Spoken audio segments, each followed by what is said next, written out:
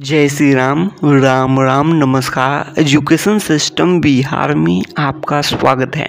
आज के स्टूडियो में बिहार शिक्षक बहाली सातवें चरण, Bihar state computer science BPSC उच्च माध्यमिक कंप्यूटर शिक्षक के बारे में कुछ ज़रूरी बातें करने वाले हैं, महत्वपूर्ण जानकारी साझा करने वाले हैं। तो आप लोग इस वीडियो में बने रहें, वीडियो को अंत तक देखें। सबसे पहले आप लोग देख रहे होंगे, इस बात को लेकर उहापोह की स्थिति बनी हुई है, अर्थात जो कंफ्यूजन बना हुआ है बी एस बी और सी बी एस ई का सिलेबस अलग अलग है सी बी एस ई का सिलेबस आप लोग जानते भी होंगे, जो के भी इसके लिए हूबहू। और जो बी एस ई बी का जो सिलेबस है इसके बारे में बात करने वाले हैं। जैसा कि आप लोग बीपीएससी अध्यक्ष के माध्यम से भी इस टाइप की बातें सुने होंगे, जिसमें यह बोले हैं कि जो उस कक्षा का जो सिलेबस और यहाँ तक कि जो स्पष्ट भी किया गया है, उसी कक्षा का जो बिहार बोर्ड का सिलेबस, ऐसे ही कुछ। तो ऐसे में क्या अंदाज़ा लगाया जा सकता है? तो बी एस बी के अंतर्गत तो हुई विद्यालय हैं और उसी विद्यालय के जो शिक्षक बनने हैं, बिहार की बात कर रहे हैं। तो ऐसे में तो ऐसे में बी एस सिलेबस ही रह सकता है। बीपीएससी अध्यक्ष ने भी कुछ इसी टाइप से जानकारी दिए हैं। वैसे बीपीएससी को क्या चाहिए? बीपीएससी की वेबसाइट पर सिलेबस को अपलोड कर दिया जाए, जिससे विश्वास हो सकेगा सभी अभ्यर्थियों को। बी का ही सिलेबस अपलोड कर देना चाहिए, जो भी सिलेबस है। विषयवार सिलेबस नहीं दिया गया है। इस बात को लेकर कन्फ्यूज़न बना हुआ है। वो हापो की स्थिति में है अभ्यर्थी? सिलेबस क्वालिफिकेशन के बारे में आगे बातें करने वाले हैं। तेरह सौ आप लोग देख सकते हैं तिरासी सौ पंचानवे, तिरासी सौ पंचानवे पद के बारे में आप लोग को जानकारी मिली होगी।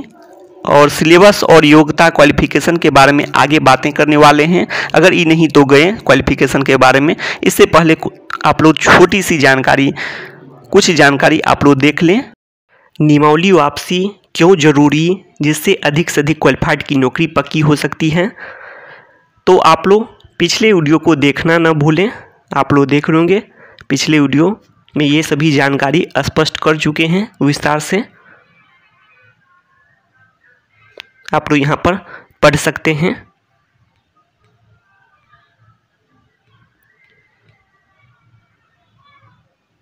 पढ़ सकते हैं।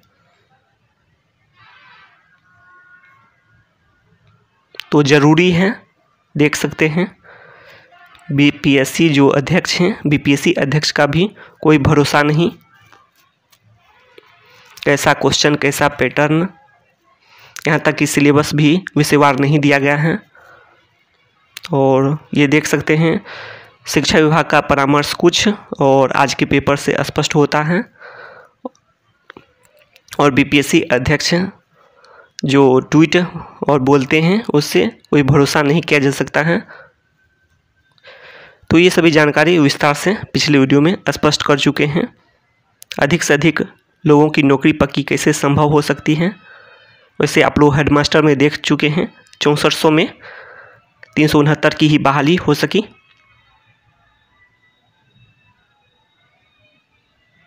यहाँ भी देख सकते हैं निगेटिव अंक की बातें की गई हैं और भाषा पेपर की बातें, जो कि बिल्कुल ही गलत हैं।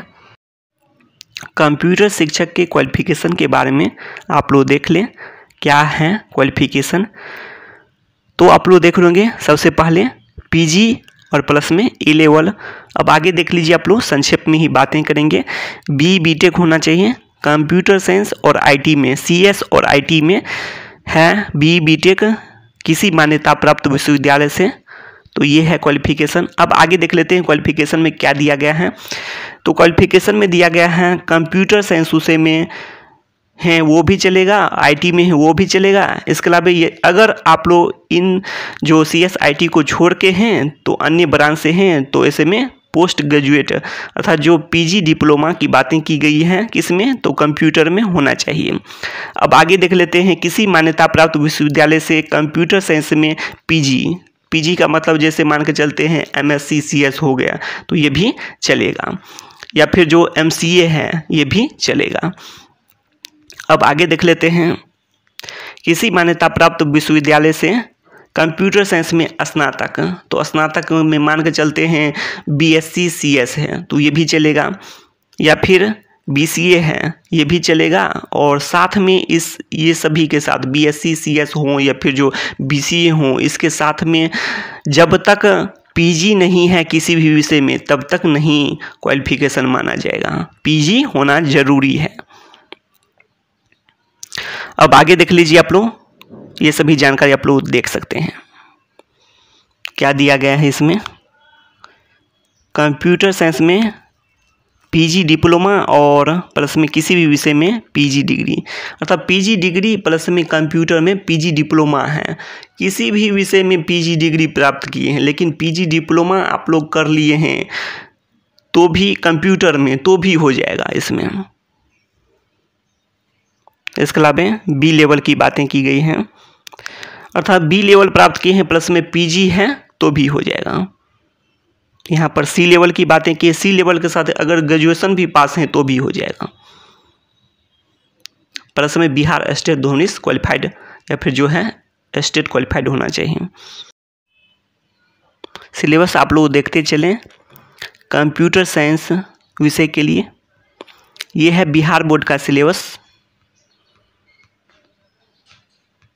और यही है बिहार स्टेट के लिए जो सिलेबस आप लोग देख होंगे कंप्यूटर शिक्षक का, देख सकते हैं, बिहार बोर्ड का सिलेबस देखते चलें। कंप्यूटर फंडामेंटल्स में देख लें आप लोग क्या क्या है सिलेबस में दिया गया है। ये देख लीजिए आप लोग। सी प्लस प्लस में देख लीजिए आप लोग। अर्थात सी प्लस प्लस है इसमें। पाइथन नहीं है। ये देख लीजिए आप लोग सिलेबस।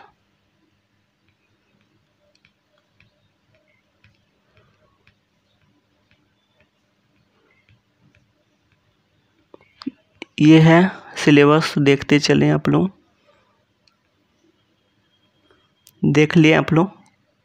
ट्वेल्व का सिलेबस देख लें। सी प्लस प्लस है, डी एस है। डी बी एम एस हैं। ये सब नेटवर्क हैं।